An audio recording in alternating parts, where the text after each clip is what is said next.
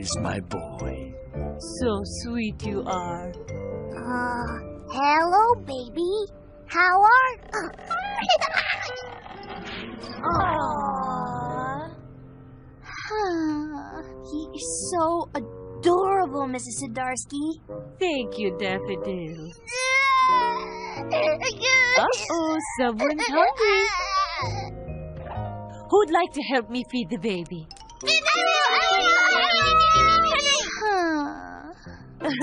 How about if you all help me? Bye. Bye! See ya. Bye. Wow, it must be really cool to have a new baby brother in your family. It has its moments. Lucy, aren't you going to help feed your new brother? No. Why not? What's the big deal? He's just a baby. All he does is eat and sleep and cry. I was a baby once too, you know. Me too. In fact, I was the one and only baby of the house. Until Clifford came along, that is. Did you like it when he came? Of course she did. We had a great time together, right, Daffodil? Well, to be honest, um, I really wasn't so crazy about you. Not first. Huh? You weren't? What was it like when Emily Elizabeth first brought Clifford home, Daffodil? Well, I remember the first time I heard there was going to be a new baby in the house. It was Emily Elizabeth's birthday. As usual, mm, I was the center of attention. Oh, You're the best bunny in the whole world. I love you, Daffodil. Kids, time for cake. I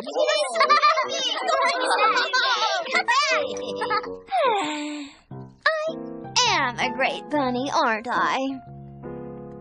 Happy birthday, Emily Elizabeth. Make a wish.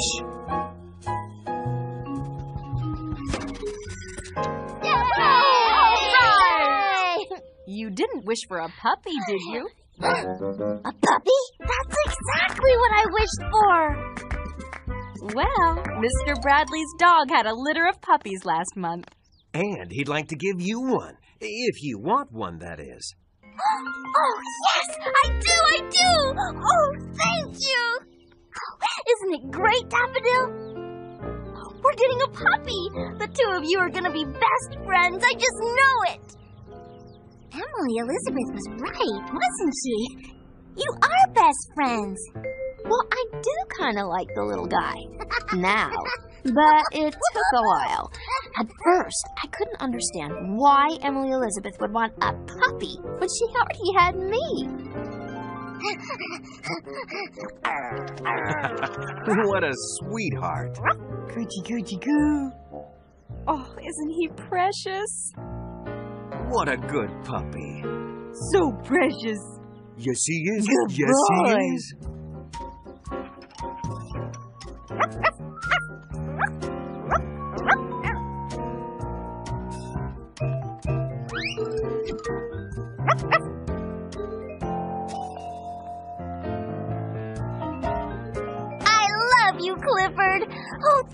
So much for the best birthday present ever. Well, now, look who's here. I think Daffodil wants to spend some time with Clifford. Go on, Clifford. Go say hi to your big sister, Daffodil. Aww. He really likes you, Daffodil.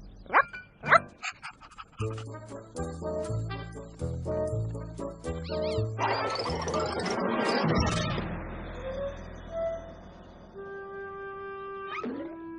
sorry, Daffodil.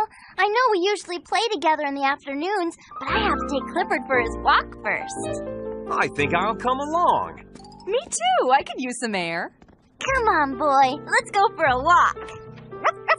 Isn't it wonderful having Clifford here with us, Daffodil?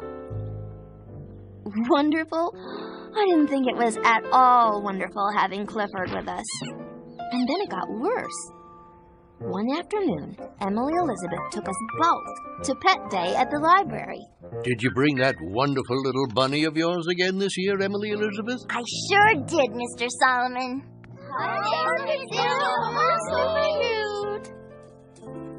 You know, Daffodil's visit last year inspired me to write my book, A Honey of a Bunny. Did you hear that, Daffodil? You're a star. Ooh! Who is this? Look This is Clifford, my new puppy. Oh, so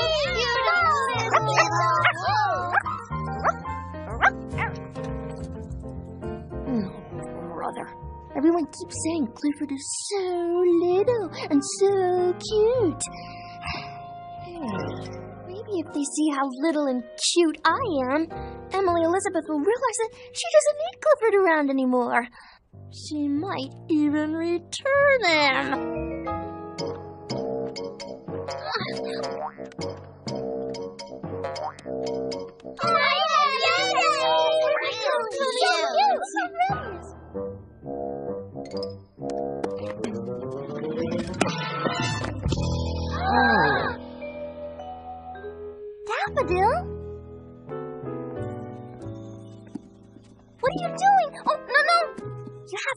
Books very carefully. They're very precious.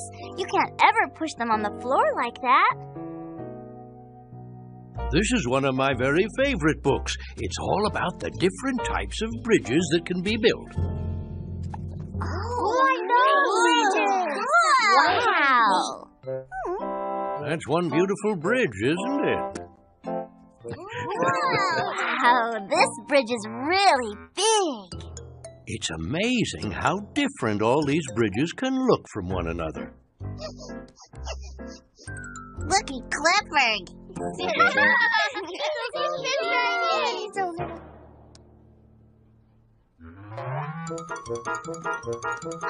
Daffodil! Daffodil, no, no, you're too big to do that. Oh,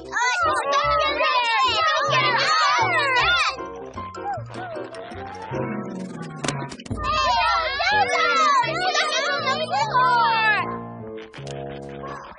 okay, Daffodil. I'll get you out. Just calm down. You're okay now, Daffodil. I've got you. Fortunately, our book is okay, too. I'm so sorry, Mr. Solomon. I guess Daffodil just didn't realize what a big girl she is. Gosh, Daffodil, I'm sorry. I didn't know it was so awful. It wasn't awful. I just thought it was. Emily Elizabeth still paid lots of attention to me, and she told me all the time how much she loved me, but I just wasn't used to living with you yet. Well, it sure sounds like it was awful to me.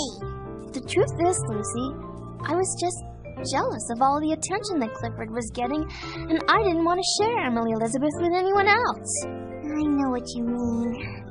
So, what did you do? Well, one day, Emily Elizabeth came home and announced, Daffodil, Clifford, it's a special day today. Clifford has been with us for one whole week now, so I brought you each a present to celebrate.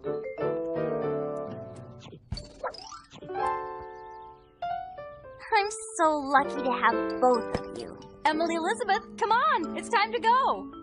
I'm going to the store with Mom right now, but I know you two will be just fine here alone. After all, you have each other.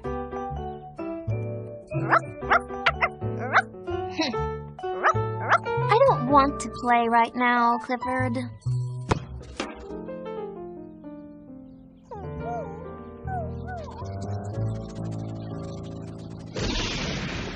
Whoa! Oh, it's just thunder.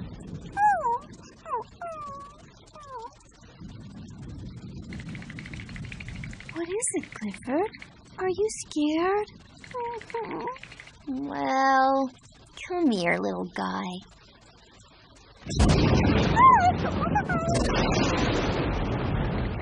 Don't worry, that's just thunder, Clifford. It happens a lot when it rains. Wow, that's a great story, Daffodil. And now Clifford is your best friend. He's more than my friend, Lucy. He's my brother. I mean, you just gotta love him.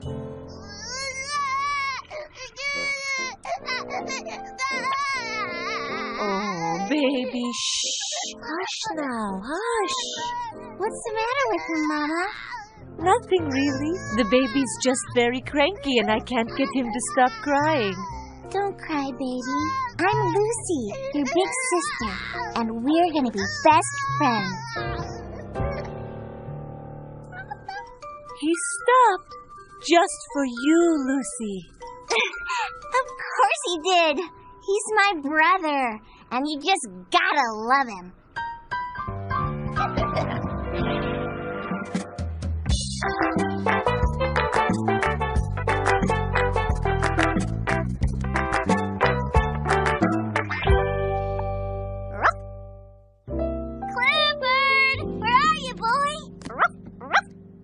Read a story, Clifford? Okay, pick one out. Thanks, Clifford. This looks like a great story. Today's story is Speckle and the Brand New Toy. Speckle had just gotten a brand new toy. He loved playing with it because even though it was very small, it was a whole lot of fun. Naturally, Speckle couldn't wait to share it with his friends. But when Ravi, Luna, Reba, and Darnell all showed up together, the friends wondered how they could all possibly play with such a teeny toy at the very same time. But then Speckle got an idea. He thought of a way that all of his friends could enjoy the bubble maker and its beautiful bubbles at the same time.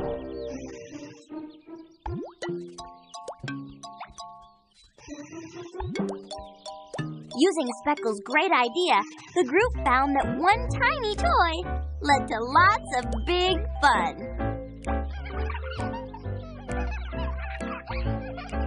The end. I love reading stories together. You know, Clifford, for such a small dog, you sure are a big reader.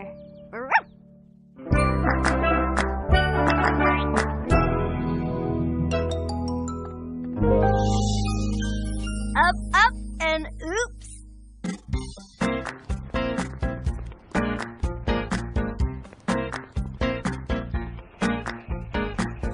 Emily Elizabeth, Nina, come on. Let's check out the trains.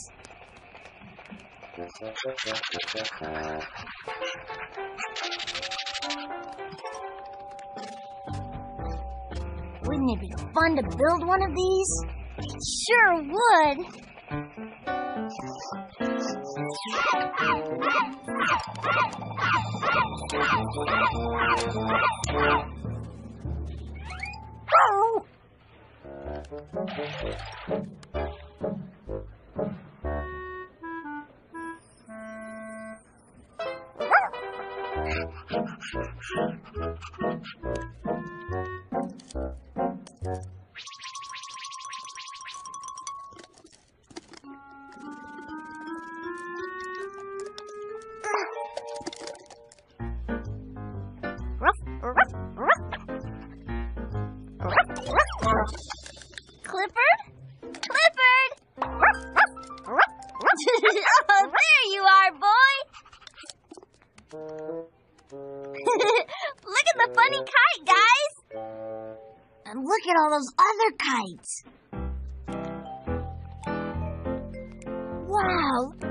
Guys, look! Over here! Oh, hi, kids. Those kites are great, huh? They sure are! so neat! Uh-huh. Then you should come to the special kite flying day we're sponsoring at the park next weekend. Everyone will be flying kites, including me. Well, have fun looking around. Thanks! We will. See ya!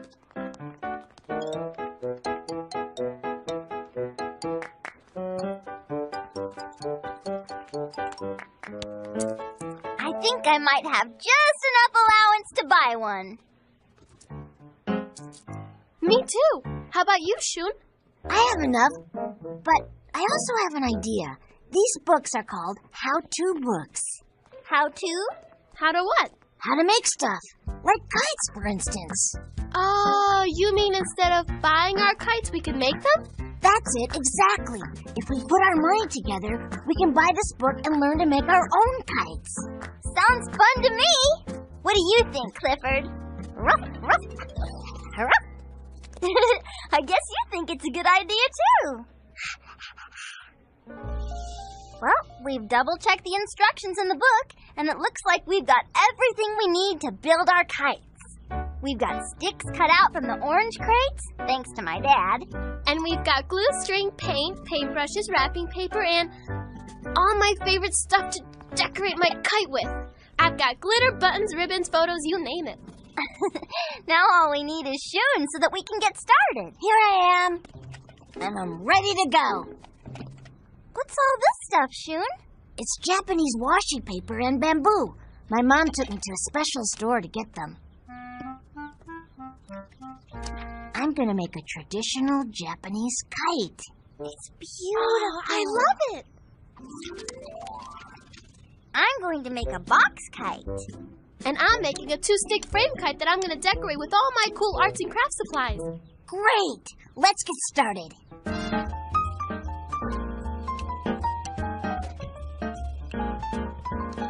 Okay, I folded the paper. Now what? Place the stick inside the fold, but remember to work carefully, as the sticks can be easily broken if not used properly. And the delicate paper can be easily torn. Won't tear it.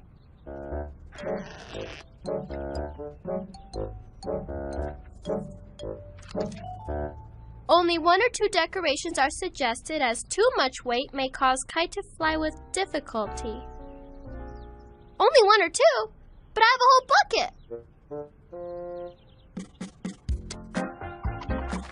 Use caution as you place the sticks and wrap them securely. Remember, a carefully built kite flies right. right.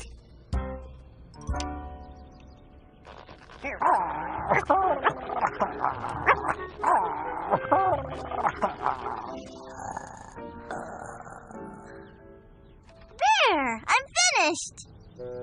And I'm finished too. Oops, not quite. I think my kite needs one more thing. Like I always say, you can never have enough glitter. I still have some painting to do, but why don't you guys go test your kites out in the courtyard? Great idea, Shun. Meet us down there when you're done. Gosh, my kite feels kind of heavy, but I'm sure it'll fly just great.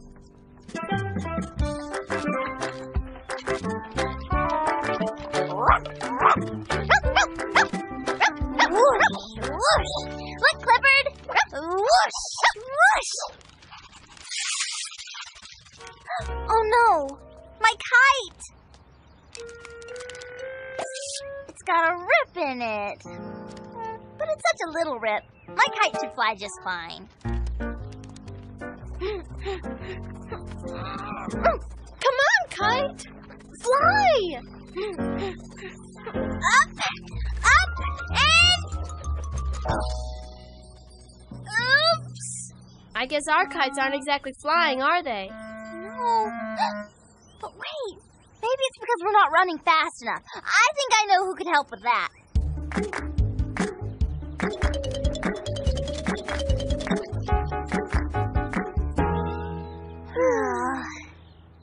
I think that maybe that hole I got in my kite is a bigger problem than I thought. I think that's why it won't fly. And I think my kite won't fly because it's so heavy. I should have just picked one or two things to glue on my kite. And I guess I should have followed the directions. Especially the part about how you have to handle kites carefully. Ah, the wind's perfect, isn't it? Oh, it's beautiful, Shun. You did a great job. Thanks. I can't wait to fly it. Let's go. Come on, let's fly our kites together. We'd love to, Shun, but our kites won't fly. I ripped a hole in mine because I wasn't careful. And mine, well, it's just too heavy. But what about the special kite flying day at the park? We were all gonna fly our kites together. Can't you both make another kite? I'm sorry, Shun, but Nina and I used up all of our materials on those kites. We should have been more careful when we were building them. And carrying them. But now we know. And now we don't have any kites to fly. Wait. I know. We can all fly my kite. Come on. Oh, okay. Thanks, Shun.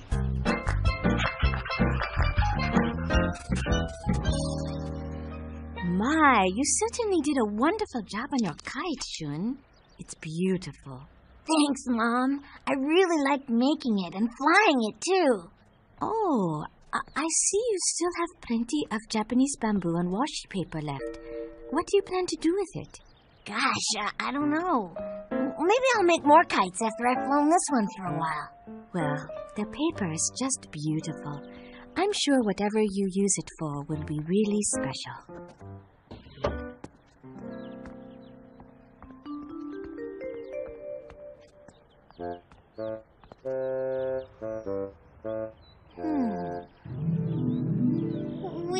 We'd love but our kites won't fly.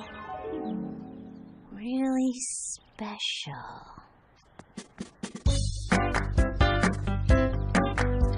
Emily Elizabeth, Nina, let's get started. Yahoo!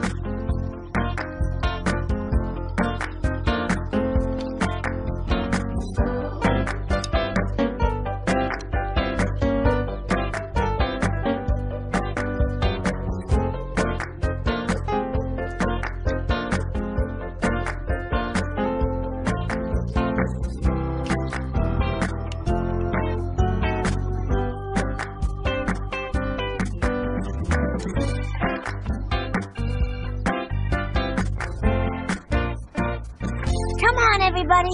We don't want to be late for kite flying day.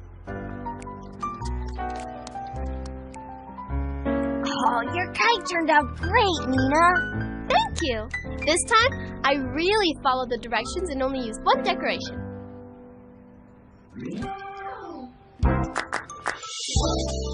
And your kite turned out great too, Emily Elizabeth. Thanks, Shun. This time around, I'm being extra careful with my kite. I didn't twirl it once. I'm sure glad I had enough bamboo and washi paper for, well, everybody.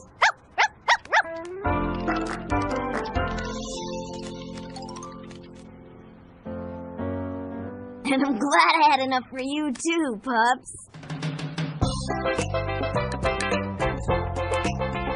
Thanks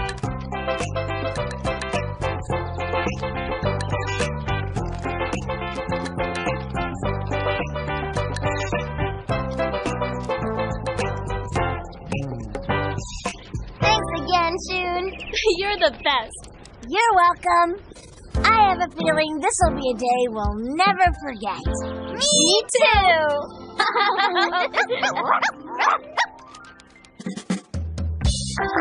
Oh,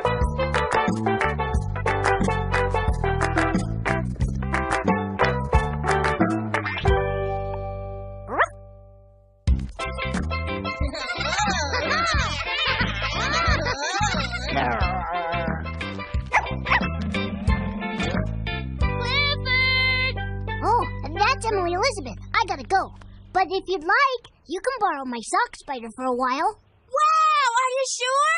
Sure, I'm sure. Just take good care of it. We will.